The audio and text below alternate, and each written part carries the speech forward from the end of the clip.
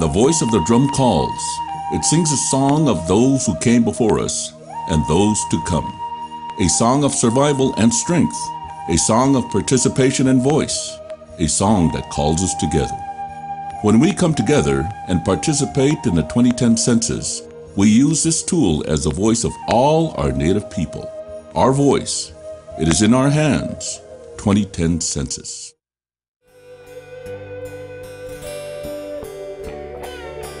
Welcome to this edition of the Native News Update on this Tuesday, March 23rd. I'm your host for today's program, and here's what we've got on this day, March 23rd, is the fifth anniversary of the passing of Lori Piestewa.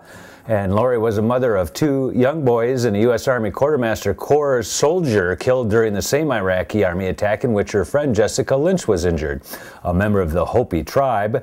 Piestewa was the first woman in the U.S. Armed Forces killed in the 2003 Iraq War and is the first Native American woman to die in combat while serving with the U.S. military during modern times. Also today, uh, President Barack Obama signed a new bill uh, for national health care into law, and we go to our mastermind, Roven Kaiser fellow Mark Trahant of the Shoshone Bannock tribe to talk just a little bit about this historic moment and what to expect in the next implementation process process. Uh, welcome to the Native News Update, Mark Trahant. Uh, you're going to give us a little bit of an idea of what happened here most recently in Washington, D.C., the passage of the what's going to be called the Obama health care plan. And I, I felt for a little while talking to you that there was times when you almost wanted to say, Paul, it's dead. Oh, I thought it was dead uh, many, many times throughout this process, and I'm uh, I'm really glad to say I was wrong. I was absolutely wrong. This president had a commitment and the Speaker of the House and the Senate that went beyond the normal uh, give and take of politics. Uh, I, I, think today, let me just get the headline, is uh, uh not long ago, the president in a White House ceremony used 11 pens to sign uh, health care reform into law. And what's most important for um, your viewers is that the Indian Health Care Improvement Act is part of that, and the president said it best when he said, "We are done. It's now the law of the land." It's it's quite phenomenal having watched the whole process for a piece of legislation like this, very very controversial, uh, yet very very needed, but uh, millions of people supporting it. But of course, uh, people's positions, you know, being very adverse to bring something together but just to watch the process. Uh, would you be able to actually tell us if you had 15 minutes, and we don't need to do it now, how that whole process worked from the time that was introduced to the time when we thought uh, you, you had enough not to filibuster and all that? Let's just say it would be a very messy chart. It would right. be a convoluted roadmap. Not very used very often. No, no, a number of the procedures. Although a lot of them have been in various ways. It's just having so many on this one piece of legislation all at once. Indeed.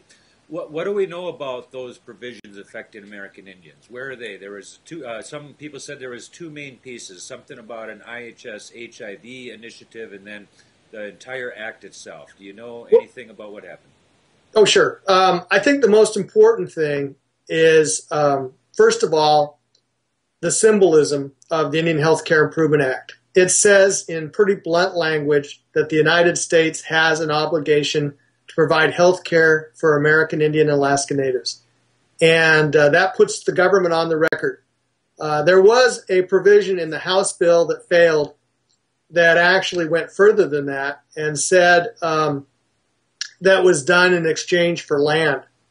And had that been part of the bill, I think it actually would have been stronger because you could have then taken it to the courts and said, wait, this is a quid pro quo. We got paid. You got your land. We didn't get the health care. Let's litigate.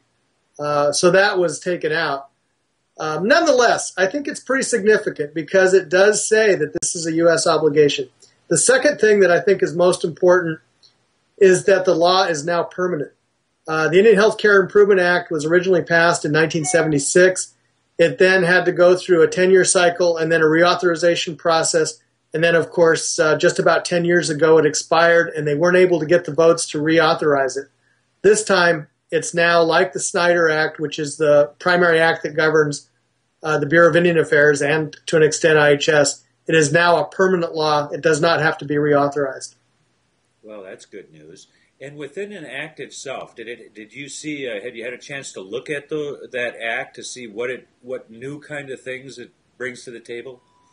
Well, and you mentioned the HIV. I think it's really important to note, though, and this is um, pretty confusing part of the process, is that all legislation runs on two tracks. Uh, the first track is what's called authorizing legislation, and that's what this is. It allows the government to spend money in this area. And everything else will still have to go through appropriations. Right. So it's a huge framework that says th- this is the idea of what we want to go into this, but it doesn't necessarily fund certain components of it. That's right. You still have to go through the authorizing or the appropriations committee to get those different uh, pieces put into place.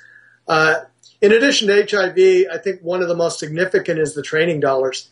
If uh, I were a young person today thinking about a career and I had any interest in health, I would really be looking at the opportunities presented in this piece of legislation. Uh, it extends the possibility of uh, grants, scholarship grants for people who want to work with the IHS. It uh, opens up more training opportunities for tribal entities that contract for IHS services. Uh, I think under the right uh, circumstances and a good proposal, it could allow an American Indian Alaska Native medical school to be funded. Uh, that would be great news if they could do that. You see anything anything else of very uh, significance in that bill besides the training and the permanency of it? I think the permanent. I think it's more symbolic than actual uh, nuts and bolts at this point. Uh, I think it does uh, set a course for the IHS to modernize, but uh, that'll come down to execution how it goes about selling itself and telling, I mean, uh, Indian country how to get involved, I think is going to be really a crucial part of it. The execution now becomes key. One thing that's going to have to happen on all of this is the regulations are going to have to be written. For example, uh, the Act uses the word quality. What does quality mean? I mean, you're going to actually have to define that in a code of law, uh, regulations, and uh, that's where the rubber will really uh, meet the road. So, in other words, it might be at this particular point we've had this huge absence of tribal input, and it seems to me, in terms of the act going through, now's the time for tribal consuls and other people in the healthcare uh, career profession to get on board to help define how those programs may be implemented and to push for the actual dollars that go with them to make them work. Absolutely.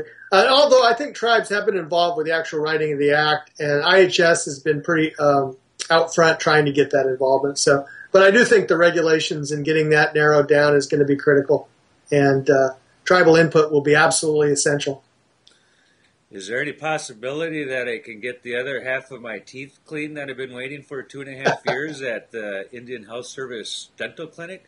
Uh, that's a good question. You know, one of the um, they did this half, but not that half. you better join the Facebook group and complain. I've been looking there. One of the challenges I think that is going to be a pretty good, deep conversation is uh, is it in the interest of American Indians and Alaska Natives, even with this recognition of a treaty right, trust responsibility, to go out and purchase private insurance? And the argument on one side is that no, this is an obligation of the United States. On the other side is yeah, but do you really want service? Do you want your teeth cleaned? And the fact is, if you have private insurance and use IHS, you have more options than somebody who doesn't. And uh, nothing in this act is going to change that. So let, us say, what are those options? The options are that if I have private insurance, if there's a long waiting list, I could go 11 miles to the local village and have some other person do it, and my insurance company gets charged and it's done and over with, and I'm not in a waiting line. Does that seem to be the major difference with that insurance, or do you think that insurance policy is going to get some attention at the Indian Health Service clinic? I think the insurance policy will get some attention at the IHS clinic because they can bill that third party. Well, as we move along here, uh, we're going to keep an eye on how this thing is implemented. Uh, there's some adjustments and amendments that still, I believe, have to come through on the process. that Right. may not be done. Uh, Obama signed the bill today. He did. He used 11 pens. It was a great ceremony. Uh, there were some tribal leaders in the audience. Good. We're going to come back to you for some more updates as we follow this whole thing along. Appreciate your time, Mark. Happy to do it. You take care. And that is the latest roundup of news from Indian Country on this edition of the Native News Update. Thanks for joining with us. Stop by again soon. Miigwech.